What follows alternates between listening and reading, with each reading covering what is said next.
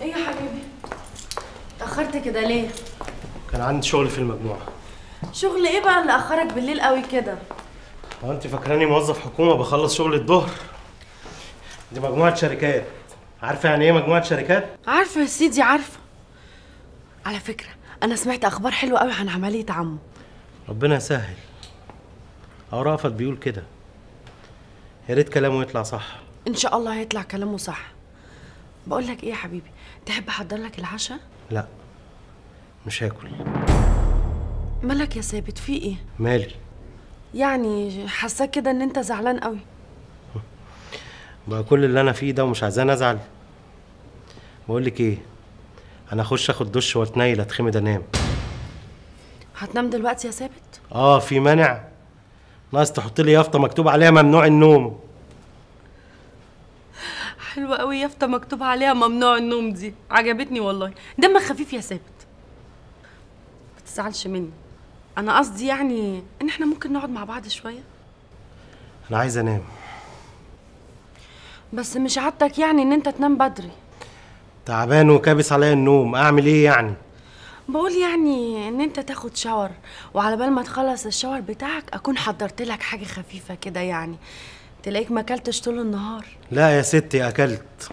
تحب كمان أقول لك أكلت إيه؟ لا خلاص يا حبيبي بالهنا والشفا. بس كان الأحسن يعني إن إحنا نتغدى مع بعض.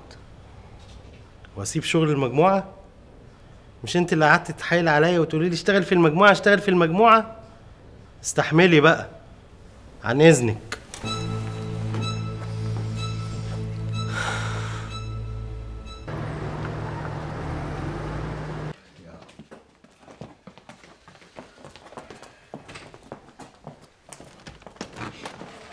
إيه يا ابني خير. خير إن شاء الله يا عم الحاج. براءة بإذن الله. الحمد ان شاء الله لله. تبقى كويسة إن شاء الله زي الفل. أحمدك يا إن شاء رب. الله.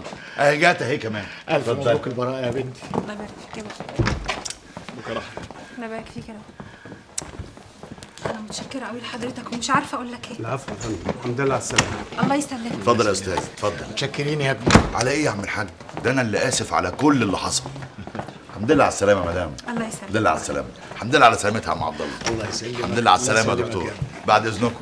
بعد إذنكم. السلام عليكم. يلا يا بابا أحسن أنا مش قادره اقف وأنا كمان زيك عاوز أرتاح. الكرسي كسر لي عظمي.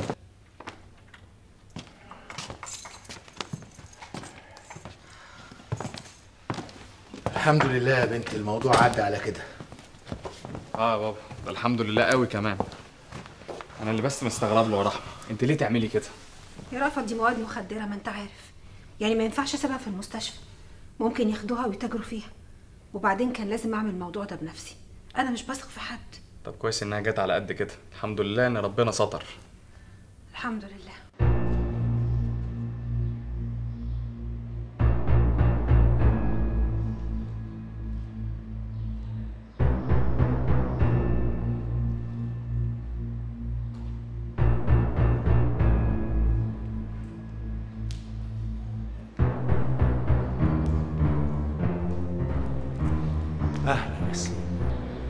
إيه رايح فين يا صبري خارج من المجموعة.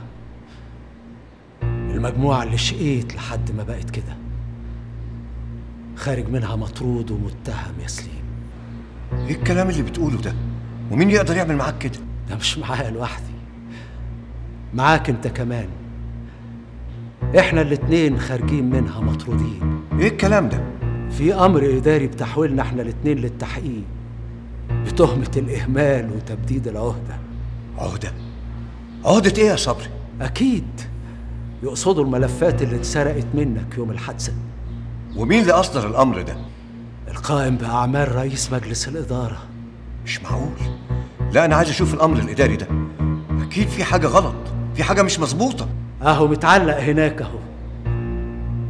وعليه توقيع ماجد الطيب. هي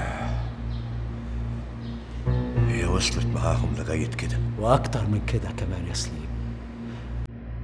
معلش يا صاحبي. معلش.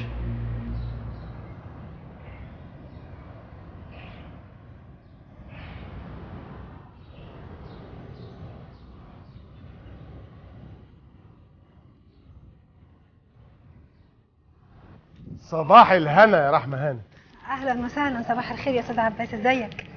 أنا متشكرة قوي على اللي أنت عملته معايا وخصوصا المحامين اللي أنت بعتهم لي. اللي أنا عملته ده طبيعي. هو إحنا مش هنبقى شركاء ولا أنت لسه ما فكرتيش؟ هو أنت لسه ما نسيتش الموضوع ده؟ انسى بقى. مش هنسى.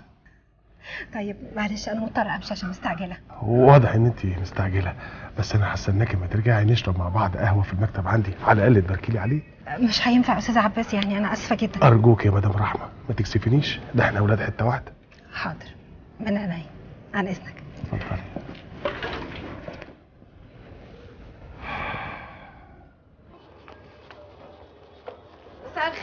الحمد لله على الله. يستر يا أستاذة. إيه ده إيه ده إيه معاملة المساجين دي؟ السجن للجدعان وانت قدها وقدود ربنا يخليكي متشكرة قوي. إيه ده مين القمر دي؟ بنتي. بسم الله ما شاء الله. وانت بتشتغلي وهي على إيدك كده؟ ما أقدرش اسيبها مع حد عشان بترضى. آه حرام. طب بقول لك إيه إحنا نفتح بقى حضانة في المستشفى. انت بتهزري؟ لا أنا مش بهزر. عندنا جزء مش بنستغله في المخزن نعمله حضانة ونفتح له باب على الشارع ويبقى عملنا لهم خدمة. شفتوا بقى مدام رحمة بتفكر فيكوا إزاي؟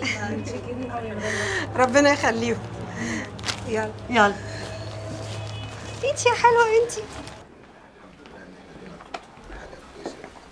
السلام عليكم. وعليكم السلام ورحمة الله وبركاته. ازيك يا حاج عبد الله؟ ازيك؟ ازيك يا دكتور رأفت؟ ازيك يا حاج؟ إيه عاملين إيه يا الحمد لله. إيه بقى اللي حصل؟ والله الحاج تعب شوية عشان بص من البلكونة. بعدين نقلوا العناية المركزة تاني. من الفجر وإحنا على كده. بس الحمد لله الحالة استقرت شوية. شكلكم تعبان قوي يا بنتي. ما تروحوا تريحوا شوية. مفيش تعب ولا حاجة. أهم حاجة نطمن على بابا. والله يا حاج بحاول أخليهم يريحوا شوية. قلت لهم اتفضلوا أنتوا وأنا هستنى هنا بس. دماغهم ناشفة. عموما أنا جاي أقول لكم على خبر حلو. الدكتور خلاص هيوصل النهارده بالليل. وإحنا مجهزين له كل حاجة. وإن شاء الله بكرة أو بعده بالكتير ويكون الحاج عامل العملية. الحمد لله. متشكرين قوي يا رأفت. إحنا تعبينك معانا قوي عن إذنكم بقى أنا لازم أمشي دلوقتي عشان لازم أروح المجموعة. بالسلامة يا حبيبي. ربنا معاك. الله يبارك من نفسك. قول لي بقى يا دكتور رأفت الدكتور ده هيعمل إيه بالظبط؟ اتفضل يا أستاذ سليم الشاي. أشكرك يا مدام. شكرا ليكي. العفو عليك. اتفضلي.